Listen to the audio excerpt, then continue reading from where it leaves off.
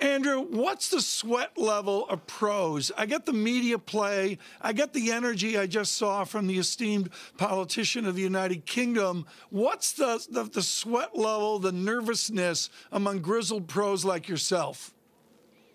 Well, you know, being prepared for this pandemic, having seen the first uh, large number of cases that came into the country, we should have been better prepared to deal with the eventual surges and small outbreaks that are occurring um, uh, now. Um, it's incredibly disconcerting to see the level of cases that are coming up in places, and more importantly, the lack of real responses uh, to get those case numbers down. Um, this is not the way you deal with a pandemic, and we've been prepared not only from our own experiences, but from the experiences of other countries. We know how to intervene here to get these case numbers down. There seems to just be a lack of either political will or personal will to implement those uh, those tools. Okay, I'll go with the personal will, and we've seen some good articles this week showing percentage of mask wearing in societies and all that. What are we going to see in the next week or two? I was ripped up on Twitter, Dr. Pekosz, looking at the death dynamics, the first and second derivative of the log path of deaths. Help me here with the death dynamics lagging the case dynamics right now. Yeah, so we know because of the course of the disease, we'll see case numbers increase first. We'll see hospitalizations lag that by anywhere between seven to 10 days. And then we'll see deaths lag that by another seven days or so. What's interesting about now is the initial cases are in a younger population. Uh, so those surges are really coming up in terms of those what we call healthier individuals who may not be suffering as much death. But what we're going to see is now the transmission of virus from those individuals to more susceptible individuals. And that's going to mean that the hospitalization and the death rates are going to increase on an even further yeah. delay. So we are expecting to see these surges in severe cases lag even further than we have in, in the first wave in this in in the country. And by the time we see that surge, Doctor, it's going to be almost too late to intervene because of that delay in, in terms of monitoring cases.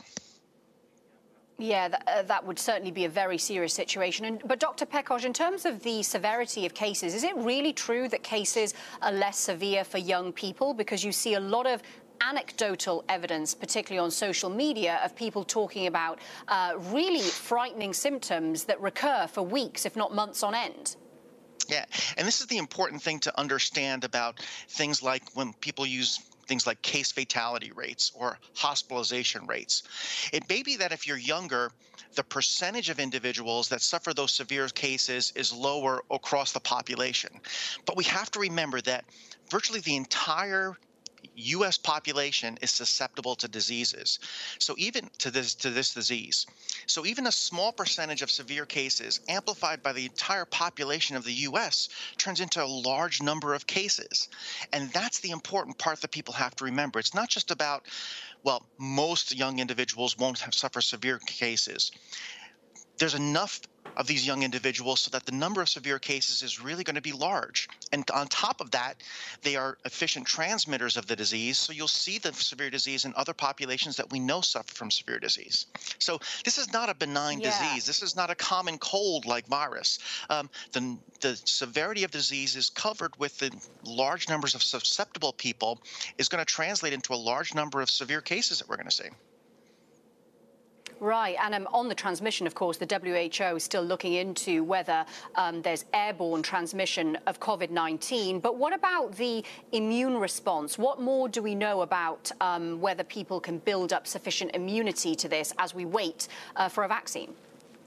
Yeah, so um, with the vaccine trials, uh, we've had some good results. Um, still preliminary results, still uh, results off small population sizes, but it seems like many of the vaccines that have been fast tracked are generating the immune response that we want to see that we assume will protect us from infection. Uh, we still have a lot of safety work to do with these vaccines, and that's going to come in play when we get the larger trials uh, uh coming in place now uh, into the early fall. Um, in terms of the immune responses to infection, uh, it's kind of a mixed bag.